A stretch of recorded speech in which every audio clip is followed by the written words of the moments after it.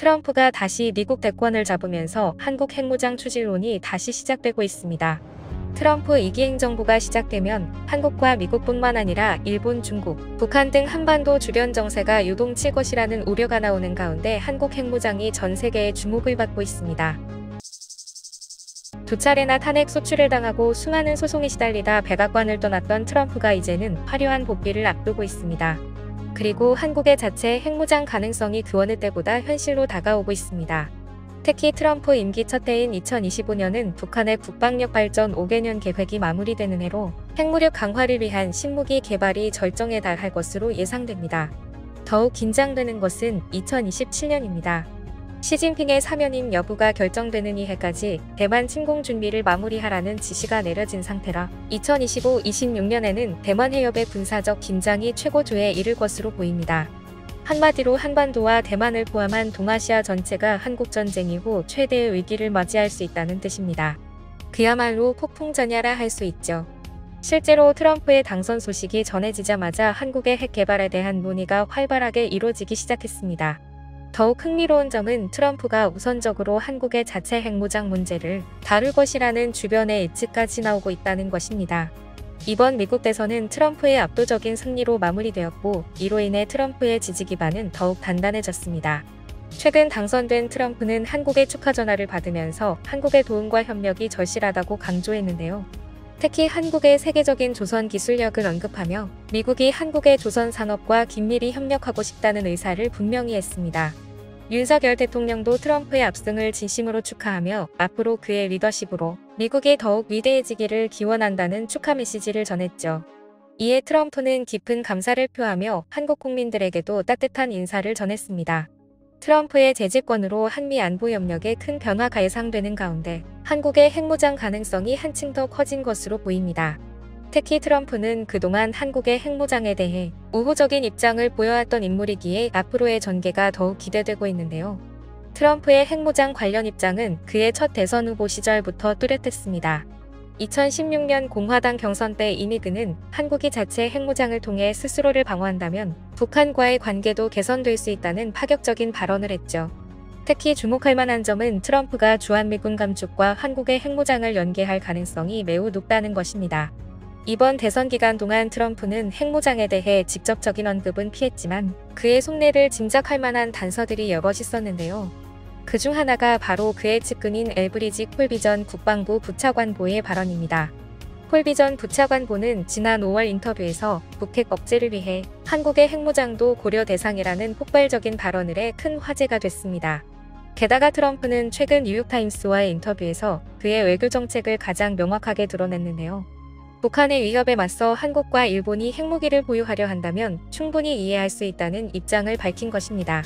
이는 그동안의 모호한 태도에서 한 걸음 더 나아간 발언이라 할 수 있죠. CNN 미팅에서는 더 직설적이었습니다.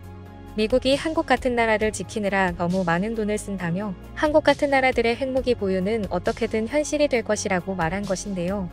트럼프가 던진 또 하나의 폭탄은 바로 주한미군 철수 가능성입니다. 그는 더 이상 미국이 한국의 방위를 전적으로 책임질 필요가 없다는 뜻을 노골적으로 드러냈는데요. 가장 우려되는 부분은 주한미군 감축과 철수 위협, 그리고 이와 맞물린 천문학적인 방위비 분담금 증액 요구입니다. 미 의회가 트럼프의 뜻에 따라 국방수권 법안을 수정해 주한미군 감축이나 철수를 추진할 가능성도 배제할 수 없는 상황이죠. 특히 트럼프는 자신의 전임 대통령 시절을 회고하면서 한국으로부터 6조 9천억 원의 방위비 분담금을 받아내지 못한 것을 여전히 아쉬워하고 있다고 합니다. 더 놀라운 것은 지난달 시카고 경제클럽 대담에서 한국을 머니머신이라 부르며 연간 무려 14조 원의 분담금을 요구한 것입니다. 이는 현재보다 9배나 많은 금액이죠. 하지만 전문가들은 실제 주한미군 철수가 쉽게 이뤄지긴 어려울 것으로 보고 있습니다.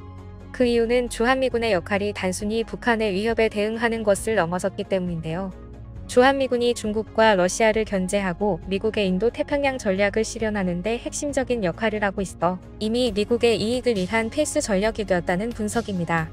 한미 관계 전문가들에 따르면 트럼프 측 외교안보 인사들도 주한미군의 중요성을 잘 알고 있다고 하는데요. 더군다나 주한미군 철수는 의회와 행정부 전문가들의 반대에 부딪힐 수밖에 없는 사안이라 트럼프 혼자서 독단적으로 결정할 수 있는 문제가 아니라는 분석입니다. 이런 상황에서 트럼프는 오히려 대북 문제에 더 적극적으로 나설 가능성이 큰데요. 트럼프는 북한과의 협상을 자신의 최대 업적으로 만들고 싶어 하는 것 같습니다. 북핵 문제를 해결한 최초의 미국 대통령이라는 타이틀을 노리는 그의 야망이 협상을 더욱 가속화할 수도 있죠. 선거 유세 때마다 트럼프는 나는 김정은을 잘한다. 그는 날 좋아했다. 우린 잘 지냈다며 김정은과의 친분을 자랑스럽게 내세웠습니다. 심지어 북한의 군사 도발 문제도 자신과 김정은의 전화통화 한 번이면 해결할 수 있다고 장담했죠. 하지만 현실은 그리 녹록지 않아 보입니다. 북한은 이미 자신들이 핵 보유국이라고 선언하면서 비핵화 협상은 절대 없다는 입장을 고수하고 있거든요. 실제로 북한은 국가 핵무력 완성을 공식 선포했고 이런 북한의 완강한 태도가 오히려 한국의 독자 핵무장론에 힘을 실어주고 있습니다. 사업가 출신 트럼프의 실용주의적 성향을 고려하면 그가 갑자기 한국의 핵무장을 승인할 가능성도 있습니다. 비용 대비 효율성 측면에서 볼 때 매력적인 선택지가 될 수 있기 때문이죠.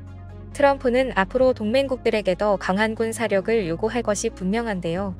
역설적이게도 한국이 더 강해질수록 트럼프의 존중도 커질 수 있다는 분석이 나옵니다. 이것이 바로 한국이 잠재적 핵 능력을 강화해야 하는 이유 중 하나죠. 핵무기는 실제 사용이 아닌 보유 자체만으로도 강력한 전쟁 억제력을 발휘하는 무기니까요. 주한미군 철수와 한국의 핵무장은 뗄래야 뗄 수 없는 관계입니다. 한쪽이 흔들리면 자연스레 다른 쪽도 논의의 대상이 되는 거죠. 더욱 주목할 만한 점은 트럼프의 핵심 참모진들까지 한국 핵무장 가능성을 언급하고 있다는 것인데요. 국무부 장관 후보로 거론되는 오브라이언은 최근 파격적인 제안을 내놨습니다. 중국과의 경제관계를 단절하고 1992년 이후 중단된 핵실험까지 재개해야 한다고 주장한 거죠. 그는 미군만으로는 중국과 러시아를 억제하기 부족하다며 자유진영의 강력한 동맹이 필요하다고 강조했습니다. 실제로 트럼프 일기 때 한국의 미사일 사정거리가 크게 확대된 것을 감안하면 트럼프의 당선이 오히려 기회가 될 수도 있다는 분석입니다. 특히 모든 상황을 예의주시하고 있는 건 중국입니다. 트럼프가 중국산 제품에 60% 이상의 초고율 관세를 부과하겠다고 선언한 데다 한국의 핵무장 가능성까지 거론되면서 중국은 큰 불안에 빠졌습니다.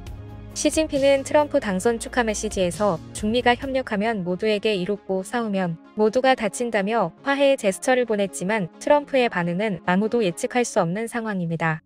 어디로 튈지 모르는 트럼프의 특성상 중국의 앞날은 바람 앞의 촛불처럼 불안정해 보입니다. 과연 앞으로 미중 관계와 한반도 정세가 어떻게 전개될지 전 세계가 주목하고 있습니다. 지금까지 꿀튜브였습니다. 오늘 영상이 도움되셨다면 구독과 좋아요 부탁드리고요. 앞으로도 꿀튜브 채널에 많은 관심 부탁드립니다. 감사합니다.